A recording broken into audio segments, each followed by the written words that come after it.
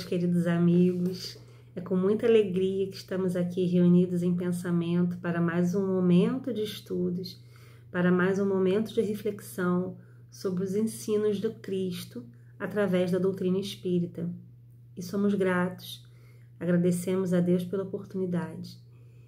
E para ambientarmos, nos ambientarmos melhor para o estudo dessa noite, que será dado pela Maria do Rosário sobre o tema Buscai primeiro o reino de Deus e a sua justiça. Maria do Rosário é do, da Sociedade Espírita Fraternidade, CEF. Então, para nos ambientarmos melhor, para nos conectarmos às energias divinas que, sem dúvida, nos acompanham as intenções nesse momento, nós vamos ler uma página seguida de prece. A página de hoje se intitula Educa e está no livro Fonte Viva, Psicografia de Chico Xavier, pelo Espírito Emmanuel. Educa. Não sabeis vós que sois o templo de Deus e que o Espírito de Deus habita em vós? Está em Paulo, primeira carta aos Coríntios, capítulo 3, versículo 16. Segue Emmanuel. Na semente minúscula reside o germe do tronco benfeitor. No coração da terra há melodias da fonte. No bloco de pedra há obras-primas de estatuária. Entretanto, o pomar reclama esforço ativo. A corrente cristalina pede aquedutos para transportar-se incontaminada. A joia de escultura pede milagres do buril. Também o Espírito traz consigo o gene da divindade. Deus está em nós quanto estamos em Deus. Mas, para que a luz divina se destaque da treva humana, é necessário que os processos educativos da vida nos, nos trabalhem nos empedrados caminhos dos milênios. Somente o coração enobrecido no grande entendimento pode vazar o heroísmo santificante. Apenas o cérebro cultivado pode produzir iluminadas formas de pensamento. Só a grandeza espiritual consegue gerar a palavra equilibrada, o verbo sublime e a voz balsamizante. Interpretemos a dor e o trabalho por artistas celestes do nosso acrisolamento. Educa e transformarás a irracionalidade em inteligência, a inteligência em humanidade e a humanidade em angelitude. Educa e edificarás paraíso na terra. Se sabemos que o Senhor habita em nós, aperfeiçoemos a nossa vida a fim de manifestá-lo. Então, meus queridos amigos, que possamos refletir sobre a última frase que acabamos de ouvir, que nas palavras de Emmanuel nos diz que se sabemos que Deus habita em nós, que possamos então, cientes dessa informação e dessa certeza, que possamos nos aperfeiçoar diariamente para manifestá-lo. Sem dúvida não é tarefa fácil, é tarefa ainda para muitas vidas manifestar a potência de Deus em nosso em cada pequeno ato de nosso dia a dia. Mas a intenção, o esforço e o cultivo de nós mesmos, com certeza, nos trará bons frutos. Se perseverarmos no bem, se perseverarmos no trabalho. Que busquemos o reino de Deus em nós, que busquemos primeiro Deus em nós e Sua justiça que possamos reconhecer a força desse gene da divindade que trazemos, para então manifestá-lo, potencializá-lo em nossa vida. Fique conosco, Senhor, agora e sempre, graças a Deus.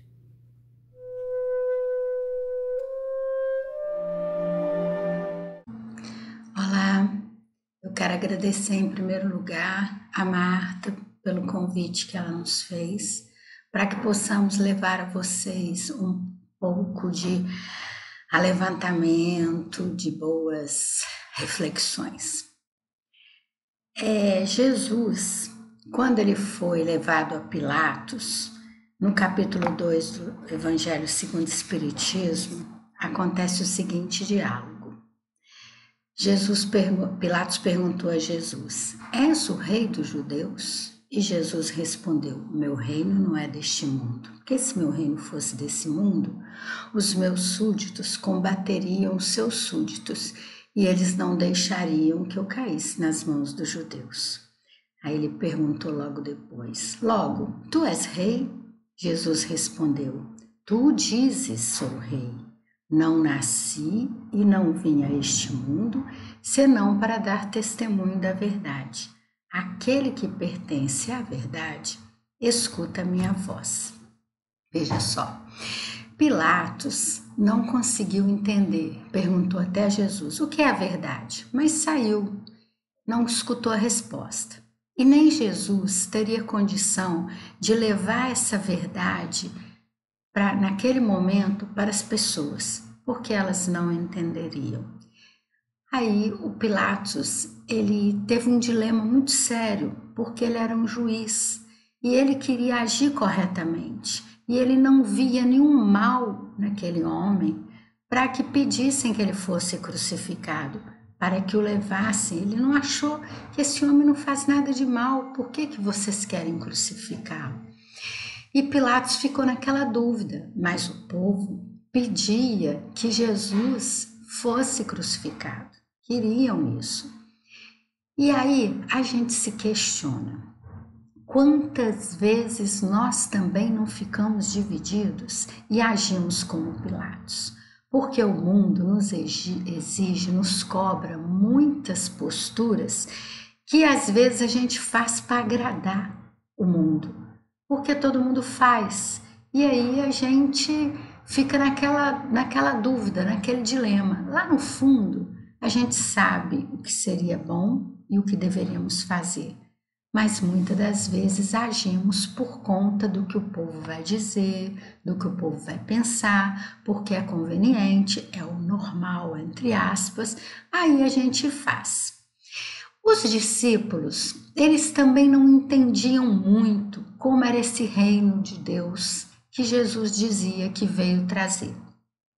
Eles achavam, como todo mundo, que Jesus ia criar um reino, um reino com castelo, com trono, com cedro, com soldados, com lutas e com disputas. Mas Jesus falou: Meu reino não é deste mundo, e eu dou testemunho da verdade. No Evangelho segundo o Espiritismo, nesse mesmo capítulo 2, fala sobre a realeza de Jesus.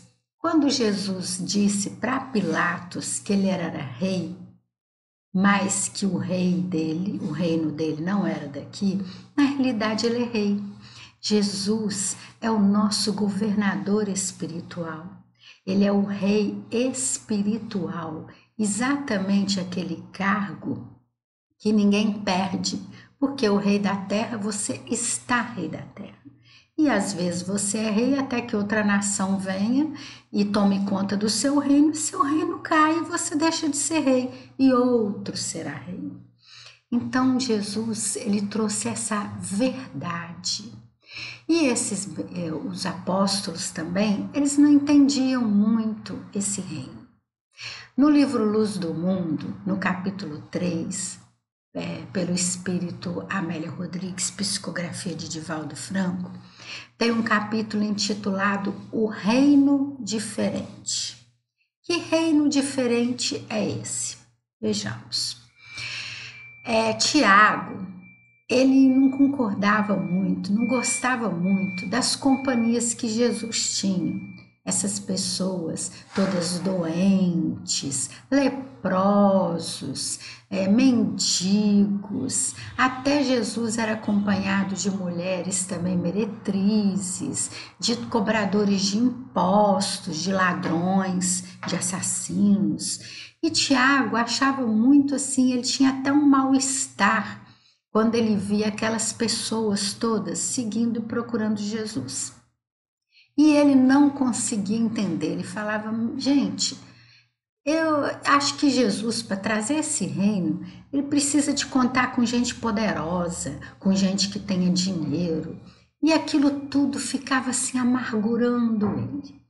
Até que um dia, quando eles estavam indo de Cafarnaum para Magdala, no meio do caminho, Tiago começou a conversar e falou: Mestre, é, eu tenho muitos conhecidos poderosos, eu sei de muita gente que poderia ajudá-lo com moedas e ajudar com que o senhor entrasse mais facilmente para a convivência com os anciãos. anciãos.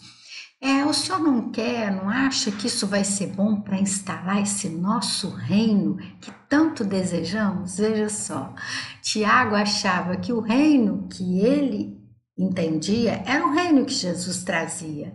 E disse: aquele reino que tanto desejamos. Quer dizer, olha como a gente acha que nós temos a verdade e que tem que ser as coisas como a gente quer.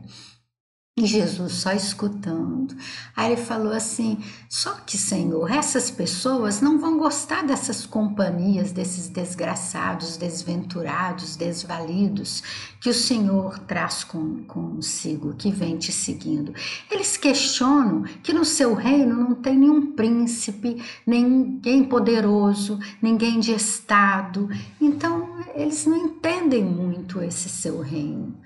Aí Jesus continuou escutando. E ele falou: E outra coisa, Senhor, eu gostaria que o seu nome prevalecesse em Jerusalém, que o Senhor fosse lembrado pelas suas palavras. Eu acho que isso é importante. Jesus escutando. Aí, uma hora, Jesus falou: Tiago, você é livre para seguir o caminho que você quer. No meu reino, o meu reino é diferente. Meu reino não é desse mundo. Meu reino é de trabalho. Meu reino é para os desvalidos, é para os desgraçados, é para os que estão sofrendo. Porque, Tiago, eu vim para os doentes. E aquele que quer, ele escuta a minha verdade. E te digo mais, Tiago o meu reino está dentro de cada um. E esse reino é um reino que existe trabalho, um trabalho contínuo de sacrifício, de perseverança ao calar da noite. Veja só, vamos analisar essas frases de Jesus.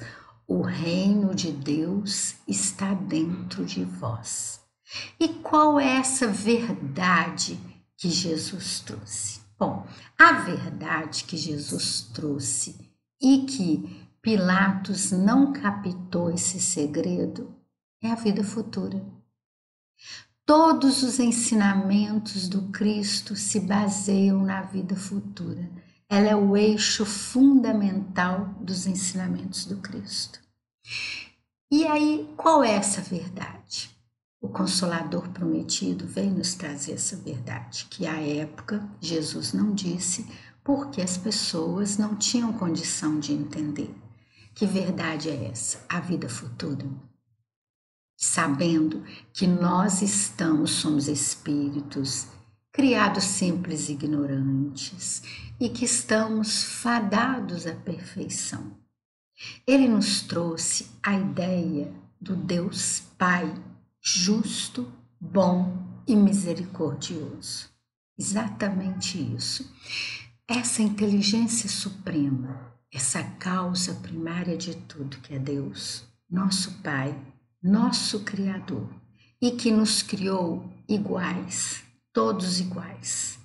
Cada um vai ter que dar conta do seu progresso, da sua evolução, pela sua perseverança e pela sua vontade.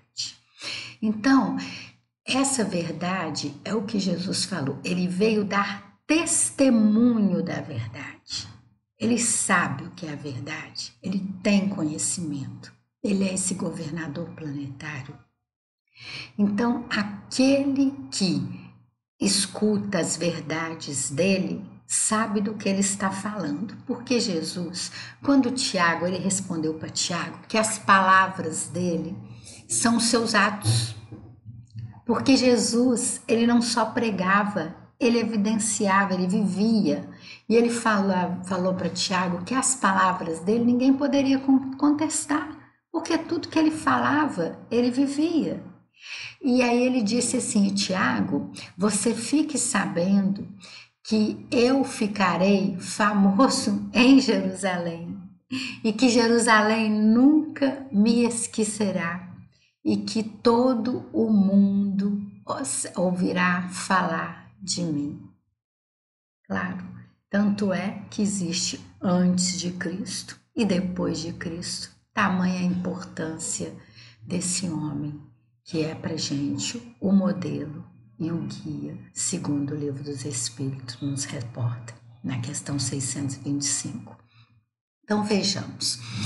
Quando ele disse assim: Buscai o reino de Deus dentro de vós e todas as outras coisas dentro de vós a sua justiça e todas as outras coisas vos serão dadas. Isso está no capítulo 25 do Evangelho segundo o Espiritismo.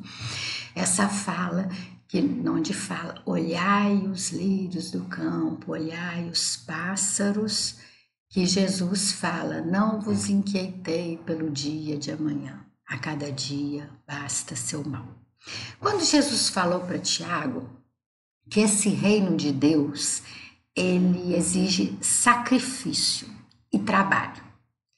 Nesse capítulo 25, Buscar e Achareis, quando diz que nós nos preocupamos com o que nós vamos vestir, nós nos preocupamos com o que nós vamos comer, e ele compara para a gente olhar as, ave, as aves do céu, que elas buscam seus alimentos nas árvores com seu voo, que ele fala também do lírio do campo os lírios do campo que são lindos com aquela veste branca que nem Salomão na sua glória se vestiu tão bem e tão lindo como os lírios do campo.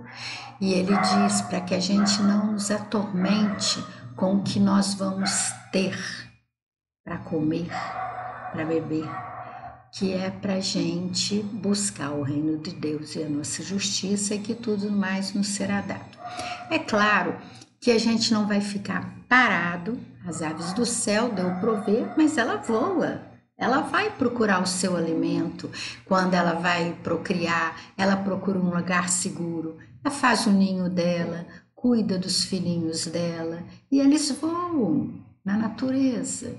As flores também, a gente planta a semente, mas a gente cuida dela e a natureza cuida, ora sol, ora chuva e cada um com uma beleza.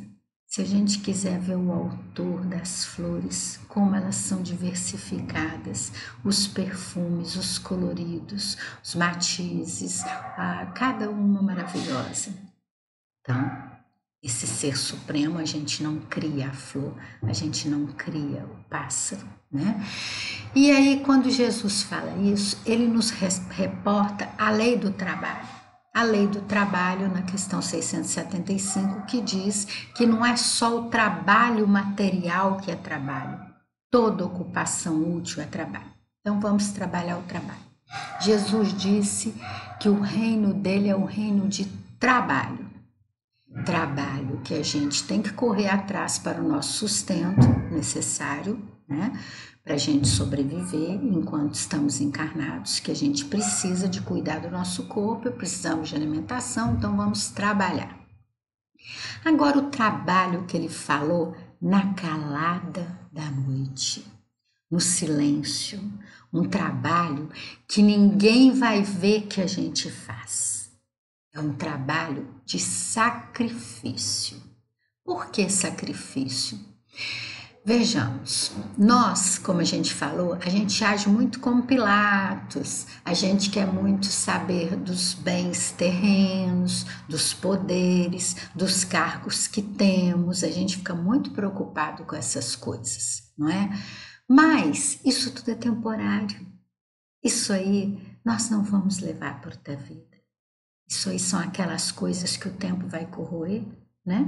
E que estão conosco por um determinado tempo. Agora, esse trabalho que é árduo, que é sacrificial, que é difícil no silêncio da noite, a gente pode se lembrar da questão 919A do Livro dos Espíritos, em que Santo Agostinho dizia o que que ele fazia todas as noites. Olha o silêncio da noite. Nós, conosco mesmo e Deus. Por quê? Conosco mesmo. E como a gente faz isso?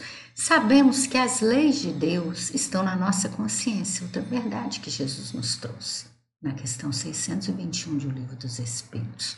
Onde estão escritas as leis de Deus? Na consciência. Então, olha só, vamos buscar o reino de Deus que está dentro de nós. As leis de Deus estão dentro de nós. Quem nós somos? Nós somos esses filhos de Deus.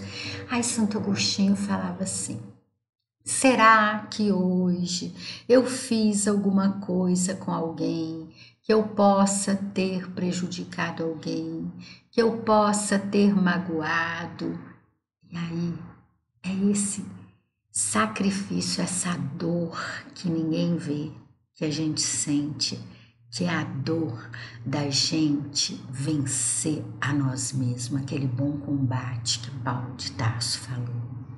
É a dor da gente reconhecer que temos falhas, e que isso dói, porque isso vai exigir de nós esse trabalho, esse trabalho noturno, esse trabalho consciencial, esse trabalho que vai trazer dor, porque nós estamos mexendo no orgulho e no egoísmo. Aí, se a gente tiver condição de reparar com os outros enquanto estamos a caminho, como Jesus, a gente pode fazer se não eles já tiverem desencarnado. A gente ora e pede desculpa a eles. Ah, Rosário, mas e aí? Se a lei de Deus está na nossa consciência, os espíritos, Kardec perguntou aos espíritos se sempre Deus mandou emissários para nos lembrar dessas leis e sempre enviou, como enviou Jesus e como envia o Consolador prometido. Mas se a gente tiver dúvida, faça com o outro o que você quer que vos faça. Então, nesse trabalho desse silêncio profundo, nós vamos questionar a nós mesmos. Eu fiz isso com Fulano. Eu gostaria que fizessem isso comigo? Aí está a regra áurea. Não tem como a gente se enganar. Nós só vamos fazer com o outro é a lei de amor e caridade aquilo que a gente gostaria que fizesse. Como que essa justiça vai ser, vai ser feita? A justiça de Deus é o amor. É o amor e a compreensão. Se nós agirmos conforme o Pai quer que nós hajamos, como disse Jesus, nós agiremos aquele que participar do meu reino deverá obedecer com resignação o que meu Pai desejar. Então, nós, se quisermos participar do reino do Cristo, nós deveremos agir como o Pai deseja. E como o Pai deseja? O Pai deseja que a gente ame, amar a Deus sobre todas as coisas, de todo o seu amor, entendimento que é Deus, inteligência suprema. O que Ele quer? Que nós, filhos, sejamos perfeitos. Então nós entendemos que estamos a caminho. Quem são os nossos irmãos? Quem é o nosso próximo? A humanidade. É isso que o nosso Pai Celestial quer.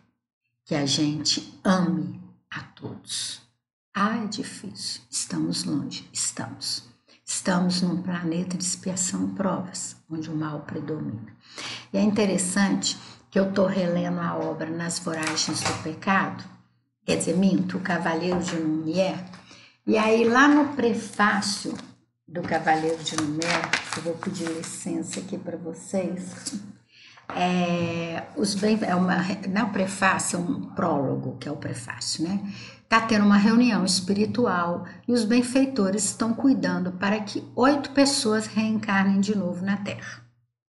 Então estão os planejamentos, fulano vai ter ciclano, cada um vai ter lá, cada qual o objetivo? Se acertar, se amar, né? É, reparar os erros, né? E tentar crescer e tirar aquilo.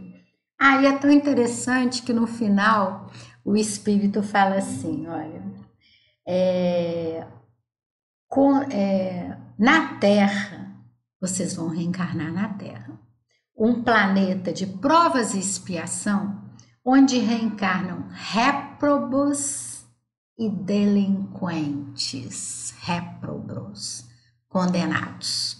Então veja, se Tiago, que nós também temos muito de Tiago, né? Se Tiago ficava assim incomodado de Jesus viver com assassinos, com meretrizes, com doentes, delinquentes, nós somos esses.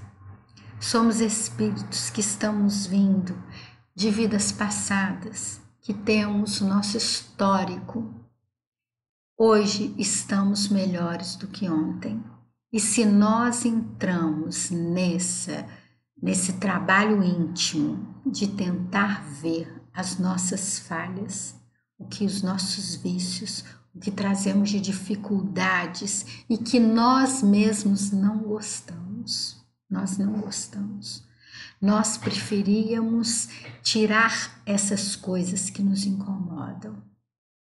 E a gente só vai reparar isso e tirar isso com aquele trabalho que Kardec disse da transformação moral, que reconhece o verdadeiro espírita pelas, pelos esforços que faz pela transformação moral e os esforços que faz para vencer a si mesmo, como Paulo disse, combater o bom combate. O maior inimigo nosso somos nós mesmos.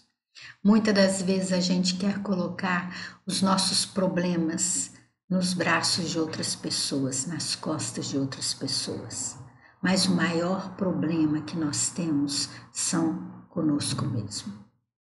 É esse trabalho íntimo. Aí, como vai ser esse trabalho íntimo? A partir do momento, como Jesus falou, que nós deveremos amar a humanidade.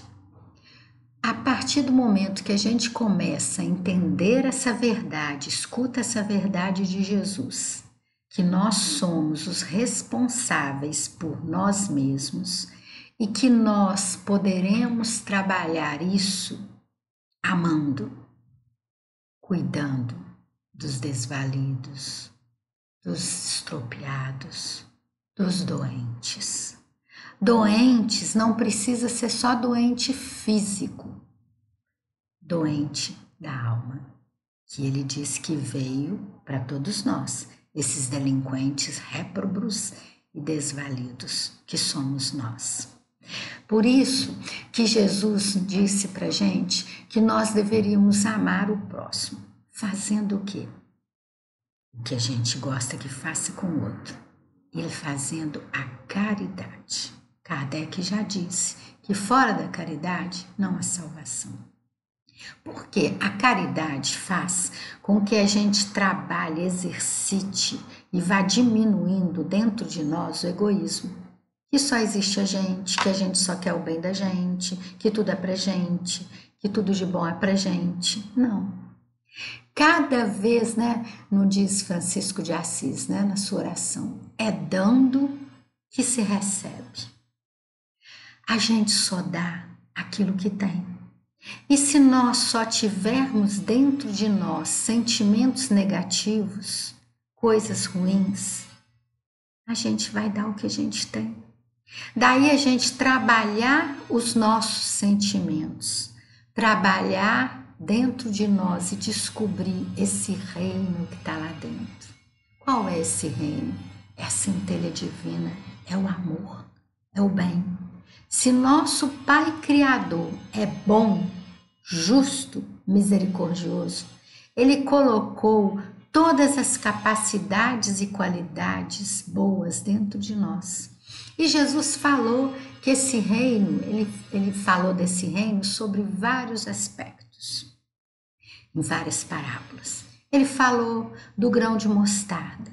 O grão de mostarda que é tão pequenininho, mas que ele cultivado, trabalhado com a água, o tempo, o sol, vira a maior árvore de todas.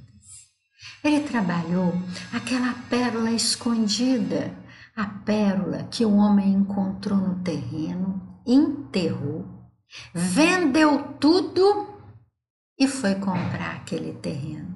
Porque Jesus falou que esse reino dos céus dentro de nós, ou reino de Deus, que uns falam reino de céus, outro reino de Deus, é a mesma coisa. Que esse reino de Deus dentro de nós, a gente também deveria querer trabalhar, ajudar e também a gente não sofreria para perder as coisas que temos. Veja, a pessoa que encontrou a pérola no campo era tão importante aquela terra que ela enterrou, vendeu tudo o que tinha para comprar aquela pérola.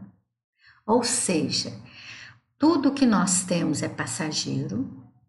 O que vai ficar conosco são as nossas aquisições intelectuais e morais.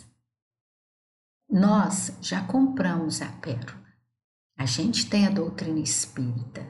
Nós compramos, entre aspas, aquele que entender, que, que entender a verdade, que souber o que é verdade, vai escutar as minhas palavras, disse Jesus. Nós temos a verdade escancarada Kardec nos trouxe através dos ensinos dos espíritos, do espírito de verdade e toda aquela falange. Nós temos a verdade. Então nós já compramos, ganhamos essa pérola. Agora a gente tem que fazer com que essa pérola cresça. Porque essa justiça e o que diz no Evangelho, que tudo mais lhe será dado, Cada vez que a gente trabalhar os bons sentimentos e o amor e olhar o nosso próximo com carinho, cada vez que isso acontecer conosco, se multiplica e a gente distribui. E quanto mais a gente tem, mais a gente dá, é dando que se recebe. Quanto mais amor e mais trabalho para o bem nós fizermos, nós vamos receber mais possibilidades, as nossas potencialidades vão ser aumentadas e a gente vai ter como retorno a paz de consciência. A paz de consciência e a sensação de dever cumprido, que nenhum dinheiro paga e que é individual, do mesmo jeito que o trabalho no silêncio da noite é sacrificial, a resposta que a gente tem depois, né? A lei de ação e reação, o que a plantação, a colheita, né? O que nós pegamos de volta, o que nós colhemos de volta é uma alegria, é uma paz é uma sensação que só a gente sabe, é individual. Não dá para descrever, ela é sentida do fundo do coração. Vejamos, quando Jesus, ele também, além da pérola, né? Ele falou do tesouro da pérola.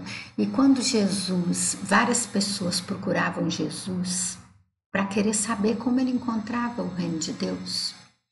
Tinha um moço rico o moço rico que disse para ele: Senhor, eu quero encontrar o reino de Deus. O que eu faço? Jesus falou: Vai, vende tudo e segue-me. Ah, Senhor, mas hoje eu tenho uma corrida de cavalo. Eu vou participar dessa corrida, depois eu venho. Só que não deu tempo, porque nessa corrida ele desencarnou. Não foi seguir Jesus. A gente vê dez, os dez leprosos que Jesus curou. Dos dez, só um voltou para agradecer. ele voltou para agradecer, mas não tem nenhum relato que ele seguiu Jesus. Aí aquele outro que também disse que iria primeiro enterrar o seu pai. Ele foi enterrar o pai e não voltou mais. No que a gente enterra uma pessoa, existe a herança. Ele foi enterrar o pai, tem a herança, não voltou para seguir Jesus. A gente também quer destaque. A mulher de Zebedeu, Salomé, quando ela soube que Jesus ia instalar um reino, ela também procurou Jesus e era mãe de João e Tiago e falou que os filhos dela mereciam os melhores lugares nesse reino. Que ela gostaria que um sentasse à sua direita e outro sentasse à sua esquerda. Ao que Jesus falou assim: Será que eles estão preparados para beber do meu cálice? Qual é esse cálice? são os sacrifícios. Aí Zebedeu ela saiu, não entendeu nada. Zebedeu voltou, isso está no relato do Boa Nova, né, no capítulo 4, a família Zebedeu, Humberto de Campos nos conta. É, aí Zebedeu voltou para conversar com Jesus. E Jesus fala com ele, Zebedeu, todos aqueles que me seguem, eles vão sofrer. Por que, que a gente vai sofrer? Não é que a doutrina nos faz sofrer. Porque a gente tem que vencer nós mesmos. A gente tem que pegar isso tudo, esse tesouro todo e trabalhar dentro de nós. O primeiro tesouro, a pérola, esse reino de Deus que está dentro de nós. E muitas das vezes não somos compreendidos, nem como trabalhadores espíritas que somos.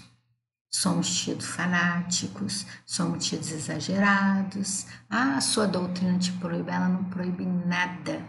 Nós temos o livre-arbítrio para fazer o que quisermos. Só que muitas das vezes abrimos mão das coisas do mundo, aí a gente já está querendo ser menos Pilatos. E aí as pessoas estranham, porque não é isso que o mundo pede. Sua vida é diferente, não é assim. O mundo não vive assim. Aí a gente é tido como santo, entre aspas, como fanático.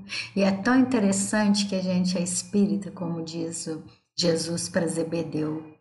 É, o que foi feito de Moisés? O que foi feito de João, Josué? Quem são os seguidores do Cristo? Quando a gente não age direito, aí fala assim: ah, mas você é espírita, né? A gente tem 500 mil olhos para fiscalizar a nossa vida. Mas antes deles nos julgarem, nos fiscalizarem, nós somos os principais juízes, porque a lei de Deus é o amor. Se a gente agir conforme o amor, a gente vai ter paz de consciência. Quando a gente não age conforme o amor, o primeiro juiz de nós mesmos somos nós. Porque quando a gente escuta a verdade, nós passamos a ter responsabilidade. E nós que somos o nosso chefe, nós que vamos saber se a gente está trabalhando ou não. Ninguém precisa de julgar. E à mesma medida que a gente julgar, nós seremos julgados. Então a gente vê que nós temos esse tesouro.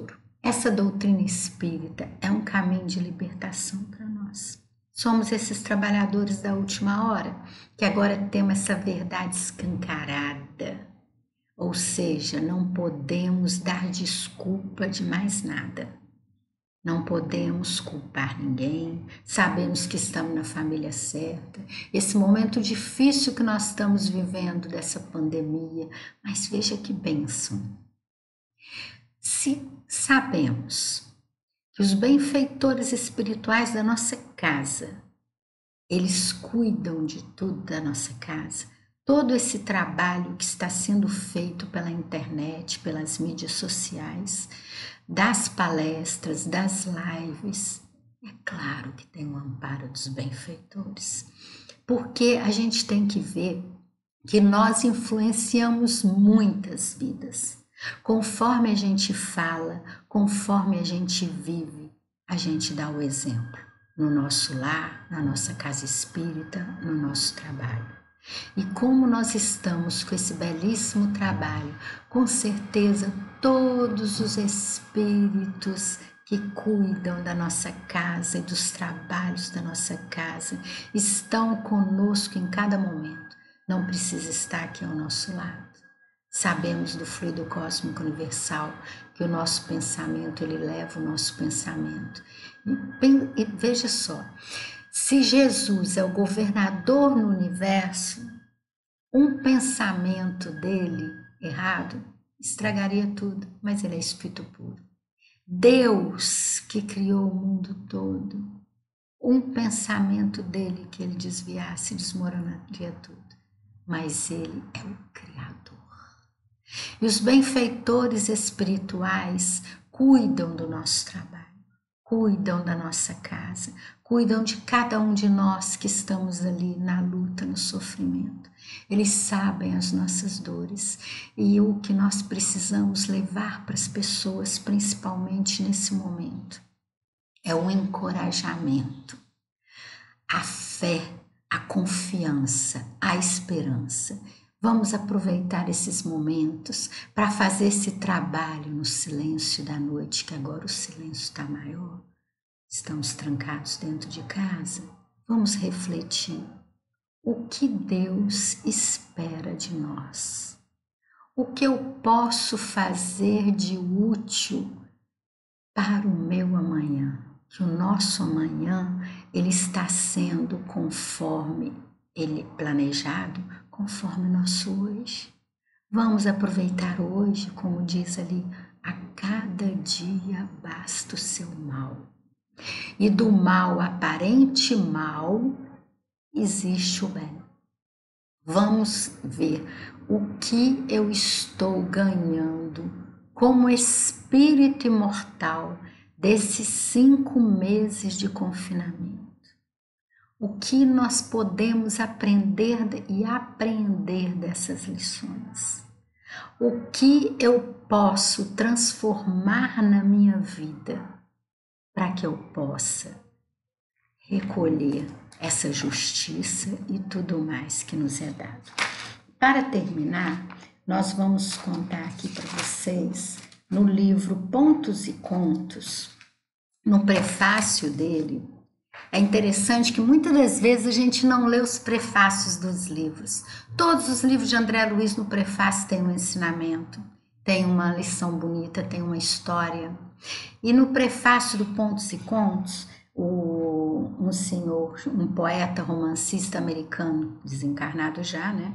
Mas no mundo espiritual, contou esse caso para o irmão X no livro Pontos e Contos. Ele chama Longfellow. Ele disse que um monge todos os dias orava com muito fervor. O desejo dele era que um dia ele visse Jesus. Ele orava com tanto fervor todos os dias. Um dia de manhã, quando ele acordou, não é que Jesus estava na frente dele. Ele viu Jesus, aquela imagem maravilhosa. Ajoelhou-se emocionado começou a adorá-lo, ficou aqui naquele êxtase, naquela situação maravilhosa, naquela felicidade. Vamos imaginar se isso acontecesse conosco, acho que a gente até desencarnaria. E ele ficou naquela contemplação quando de repente ele escutou os, cis, os sinos lá do mosteiro tocado com vento. E o que que aqueles sinos diziam? Era a hora dele trabalhar. Todos os dias pela manhã, quando badalavam os sinos, ele tinha que abrir o portão para cuidar das pessoas no portão do mosteiro. Aí ele ficou naquela dúvida: vou, não vou, vou, não vou, vou perder aqui essa companhia de Jesus, essa contemplação. Mas o dever o chamava e ele foi para o trabalho dele, com muita tristeza, mas foi. Trabalhou o dia inteiro inteiro atendeu a todos os desvalidos que estavam na porta do mosteiro. Ao final do dia, ele trabalhava e ficava assim: nossa, que tristeza, logo hoje que Jesus apareceu. Aí ele trabalhou. Quando voltou para a cela dele, qual a surpresa? Jesus estava lá esperando por ele. Ele de novo ajoelhou, emocionado, as lágrimas escorriam e começou de novo a contemplar Jesus. E Jesus disse para ele: Se você tivesse ficado, eu teria ido embora.